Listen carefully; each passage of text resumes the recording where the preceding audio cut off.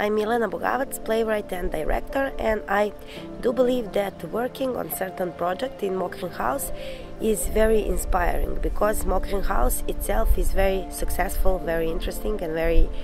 uh, uh, how to say well developed project itself. So somehow when you are here with all these like facilities and all this nature and beauty around you, uh, you get all the inspiration, you get all the privacy for your work, but you also get